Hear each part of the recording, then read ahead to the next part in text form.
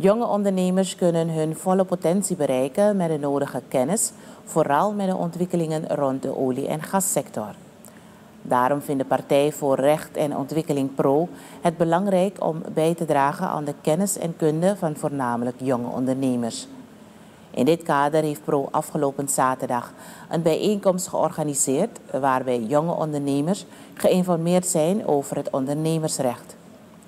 Gerald Schilcharan, voorzitter van PRO, meent dat Suriname nu meer dan ooit belangrijke ontwikkelingen tegemoet gaat en jonge ondernemers daar goed op afgestemd moeten zijn. Nou, eh, dus de PRO uh, doet dit omdat wij uh, in onze in onze ideologie, zeg maar, onze statuten en onze ontwikkelingsvisie hebben we altijd gezegd dat, en dat zeggen we nog steeds, dat onderwijs belangrijk is. Wij hebben onderwijs als uh, uh, zeg maar beleidsgebied nummer 1 staan. Onderwijs. Weet je?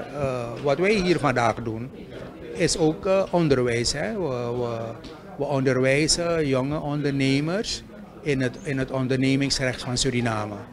En wij, wij gaan ervan uit dat als, die, als onze ondernemers zeg maar, juridisch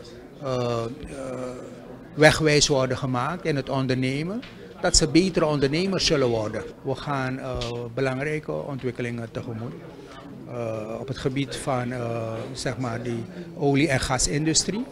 Dan is het zaak dat onze jonge ondernemers zeg maar, de kansen niet missen onze ondernemers moeten de kansen niet missen. Het is belangrijk dat zij kunnen profiteren van die spin-off van die olie- en gasindustrie.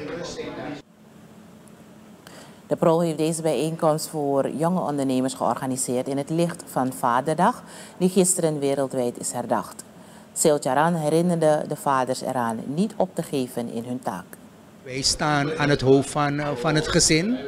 Weet je, wij hebben de verplichting om het gezin uh, goed te leiden. Uh, natuurlijk samen met de moeder.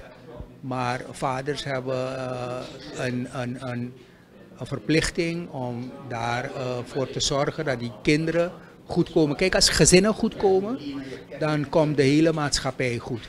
Dus het begint bij die gezinnen, het begint bij die ouders en het begint dus eigenlijk ook bij die vader. De PRO heeft nog, de, nog een sessie in de planning voor jonge ondernemers gezien de interesse bij deze activiteit. De focus zal dan zijn op informatie over het ondernemersrecht aan vrouwelijke ondernemers. Het zover de binnenlandse informatie in het journaal.